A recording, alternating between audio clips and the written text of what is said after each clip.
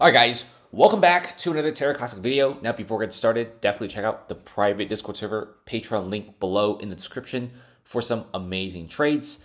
One of our traders made nearly 600% and it's only $10 a month. Okay, we gotta talk about Terra Classic so far prices are slowly trending upwards, but what everyone is asking is, hey, can Terra Classic hit that juicy $1 mark? Now, this will be a very, very honest video here because I've seen so many individuals saying, $1 in 2022, 2023. And so far, it hasn't happened yet, and for good reason, because $1 is way too absurd, in my opinion, to get anything done. $1 is such a high amount. So it's essentially a 5x from the current price to delete a zero, and then another 10x to hit a penny. After it hits a penny, you need another 100x to hit that $1 mark.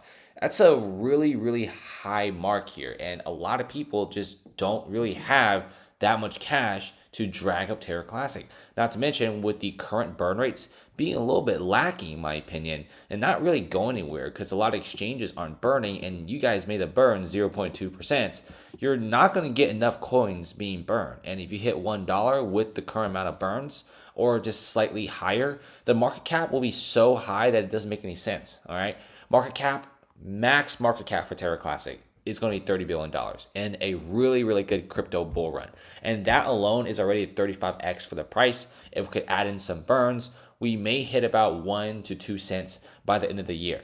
And that's highly likely. All right. If we get good burns, a good run up, and good development from the devs, we're not going to be hitting that $1 mark this year, but one cent is possible. One cent really isn't that unrealistic. And for one penny, you could put like a thousand bucks in and it could easily come out with like 15, 20, 25,000 dollars. And that's a fantastic return right there. A return that you don't get anywhere else.